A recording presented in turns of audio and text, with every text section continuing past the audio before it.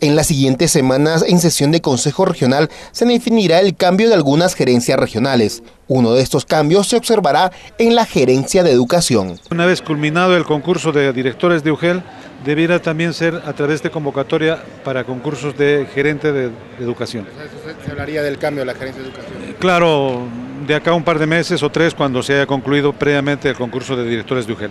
Ibañez aseguró que esta modificatoria se realizará después que se culmine con el proceso de convocatoria para las nuevas direcciones de las UGEL en la región.